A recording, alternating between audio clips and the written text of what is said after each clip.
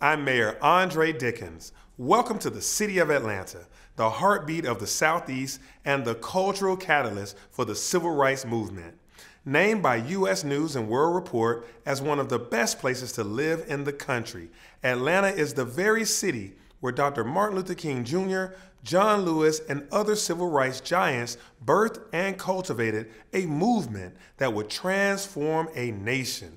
Atlanta's climate, economy, location, diversity, and relative affordability contribute to our area's consistent and rapid growth. That growth has spawned numerous commercial and residential development projects inside and outside the city limits. We are pleased to be named a finalist for the All America City Award. The efforts of Atlanta Housing and our community partners during the pandemic serve as a model of utilizing housing as a platform to holistically serve families. In Atlanta, we were able to build on our Housing Plus services approach to mitigate the health, economic, and social impacts of COVID 19.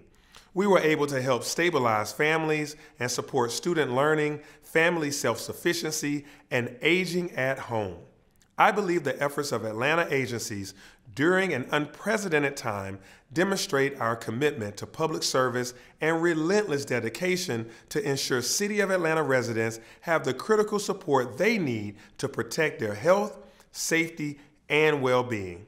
Looking ahead, our work will continue to build on helping families recover and build resiliency.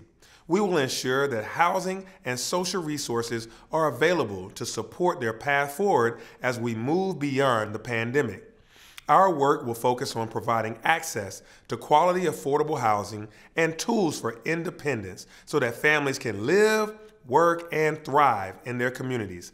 As Atlanta's 61st mayor, I will lead efforts to govern thoughtfully, purposefully, and ethically as we move forward as one city with one bright future together.